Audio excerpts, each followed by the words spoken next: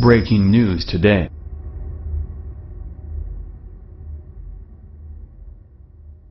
Payback, right after The View attacks him and his daughter, Huckabee ruins them with epic response.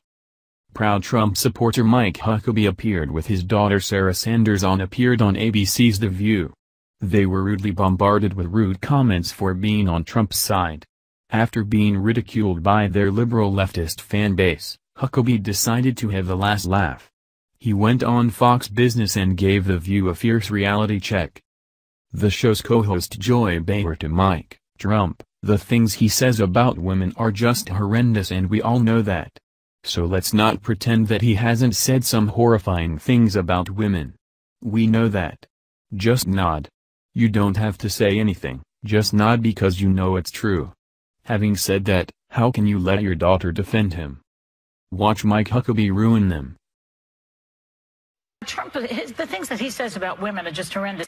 How can you let your daughter defend him? Well, he's also empowered a lot of women. I mean, he's given my daughter an incredible opportunity. Anecdotal. As no, look at the women that he has hired, not only uh, in the White House, but also the women that he's hired in the private sector. People say, "Oh, he's a racist." Well, he's been on this show many times. Yes, Did you ever and call I him said it to him to his face. Well, Is the media supposed to not report on the fact that 95% of what he says is a lie? The that, that that that is a, a that is you are doing exactly what we're talking about and pushing a false narrative. No, it's not. Ninety-five percent of what the president says is not a PolitiFact. lie. I feel sorry for you that you have to go out and defend those lies every day.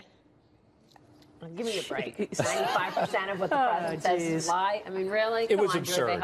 But you know, the, I have to believe that there are a lot of smarter people in the American public than they think there is. And and the fact is that again, their hatred of Donald Trump is so irrational that that I think that comes across.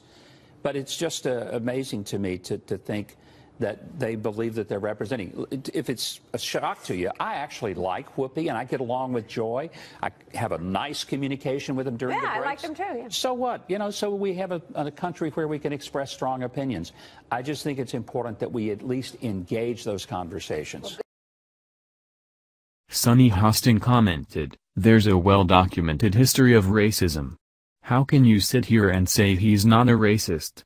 Added Joy, I don't understand how the evangelicals can support him. You're a religious person. Some of the things that have come out of this mouth, are so against the Bible, so unreligious of him. How can you support someone like that? Huckabee said about Joy and Company, I have to believe there are a lot of smarter people in the American public than they think there is. He added about the hosts.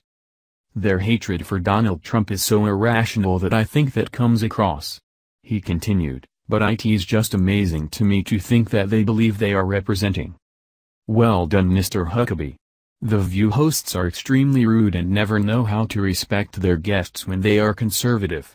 We need more people like you to shut them up once in a while. If you support Mike Huckabee, share this out everywhere so it goes viral. God bless. Bless.